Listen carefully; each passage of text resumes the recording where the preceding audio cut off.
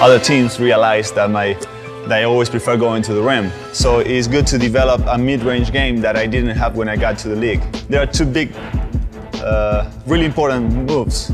First, the long step. The longest step, the most distance you create from the opponent.